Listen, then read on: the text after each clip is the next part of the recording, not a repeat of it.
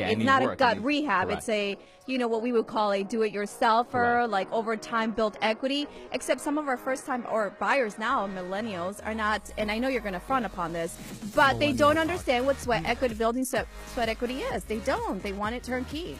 And, and that's where we, we come along and we educate. You know, we educate, we show them properties. And then also, you know, sometimes, a lot of times with uh, a lot of younger buyers, I'll go through the property and show, like, you know, let's look at the structure. Are the bones good? Is the, is the Love it. foundation solid? Is Yeah. the windows good? The roof is good? I'm like, the kitchen and bath, don't worry. I'll give you some of my guys, rehabbers that go to the wholesale and buy it, you know, and find cheap cabinets. So you got to look at the big picture.